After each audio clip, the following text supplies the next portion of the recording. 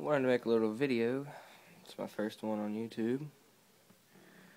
Anyways, shout out to Tony. This is a this little riff came from him. He didn't really finish with it, so I figured that I'd make something out of it. So here goes nothing.